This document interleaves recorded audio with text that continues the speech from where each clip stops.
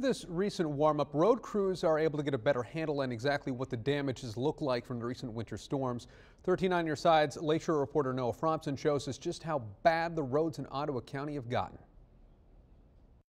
Yeah, the gravel on this road in Robinson Township is fresh. It was put down by the Ottawa County Road Commission last week after chunks of the road washed away when the snow melted. It's one of the many areas Ottawa County is trying to repair after what officials say was a tough stretch of winter.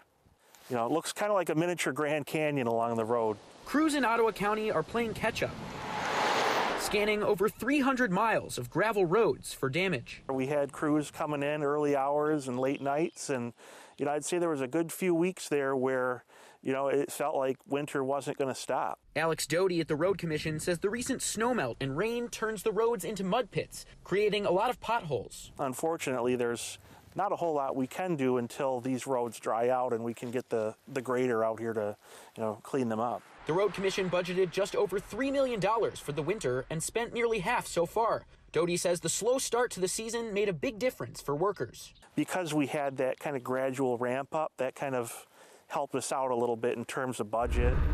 The City of Holland's Transportation Department also expects to hover around the average for winter road repair. And as crews move through hundreds of more miles, Doty says the spring construction projects, including the reconstruction of Cottonwood Drive, are expected to start on time. Come mid-April, that's when we're going to start to see some activity because that'll be when the uh, asphalt plants will be reopening and we'll be able to get started on, on these work. In Robinson Township, Noah Fromson, 13 on your side.